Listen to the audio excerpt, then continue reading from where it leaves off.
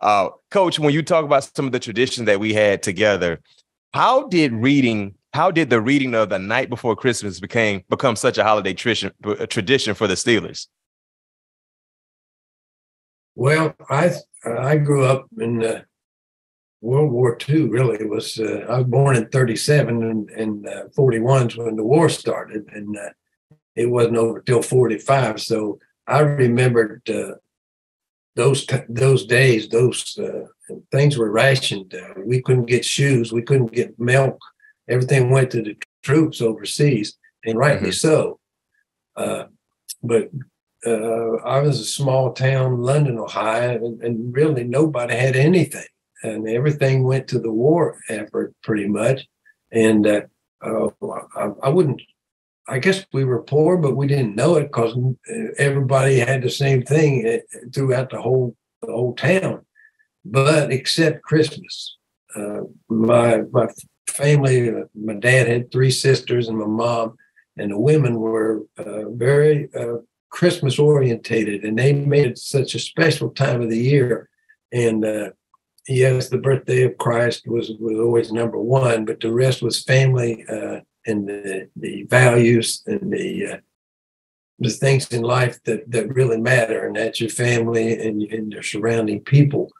And uh, I, I, it hit me. I mean, I I thought, man, this is the greatest thing in in the world and what can I do to tell these women, to show these women that I got it now? I got the Christmas spirit, and I understand what it all is about uh, loving your brother, loving your fellow man. Mm-hmm. And uh, uh, I thought, well, I know what I'll do. I'll I'll learn the night before Christmas and, and learn how to recite it. Well, that was before I knew how many verses there were in it. it's longer than you think. So I started to work on it, but it took me a while because you I, I, had other things to do. I'd say it was by Christmas time when it would really move me to to memorize the whole thing. And yep. it took me a couple years. But once I did it, I did it for my family.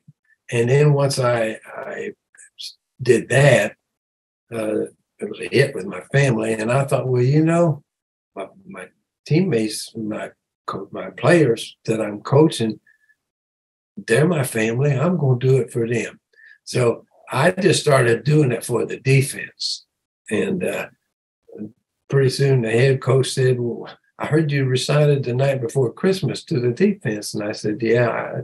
I, and I told him pretty much the story I just told you. Yep. And he said, Well, why didn't you do it for the whole team? I said, Well, I ain't the head coach. Said, that ain't my call. He said, Well, I want you to do it for the whole team.